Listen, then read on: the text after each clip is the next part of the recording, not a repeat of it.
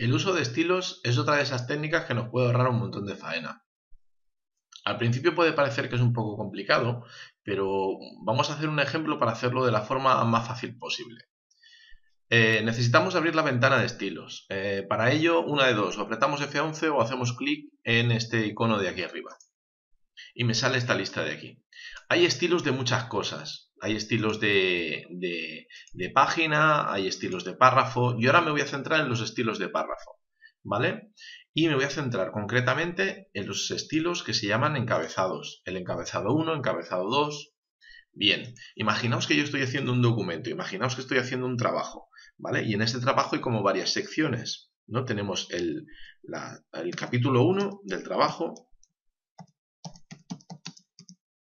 bien, eh, que se llama introducción. Voy a borrarlo de capítulo, le voy a llamar introducción. Introducción.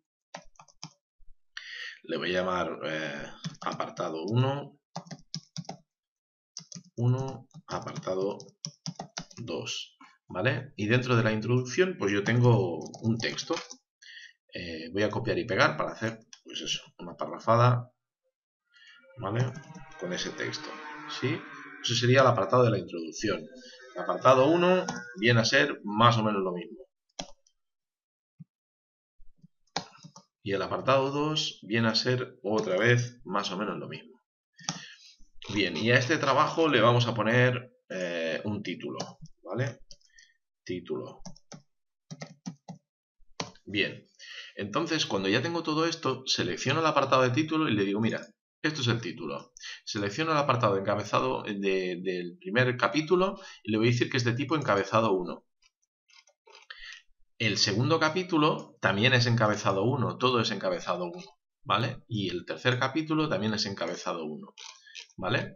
Después, lo que es todo el texto, le voy a decir que es del estilo cuerpo del texto, ¿vale?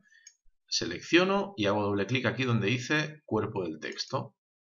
Bien, selecciono todo esto otra vez, este de aquí, cuerpo del texto y selecciono el cuerpo del texto del apartado 2, cuerpo del texto.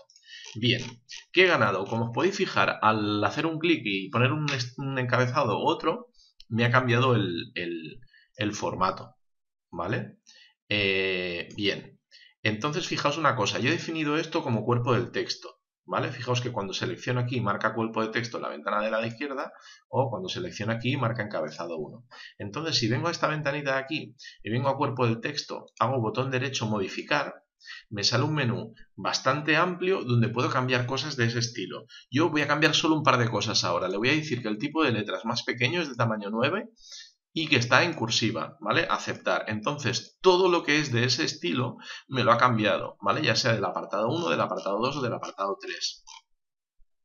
El, apartado este de encabezado, que es el título, lo voy a hacer más grande, ¿vale? Le voy a decir que es mucho más grande, que es por ejemplo de tamaño 20 y que va a estar en negrita, ¿vale? Aceptar, ¿sí? Y este encabezado 1, botón derecho, modificar, le voy a decir que sea un poco más pequeño, ¿vale? Y le vamos a cambiar el color, que creo que está por aquí, en efectos de fuente. Le vamos a poner un color rojo, ¿vale? Aceptar. Entonces, fijaos que todo lo que es encabezado 1 me lo ha puesto de ese tamaño y de ese color. Esta es una de las ventajas, que yo puedo cambiar el estilo de todo el documento sin tener que ir seleccionando trozo a trozo del documento, ¿vale? Esto, eh, el concepto de separar estilos y contenido es una cosa interesante.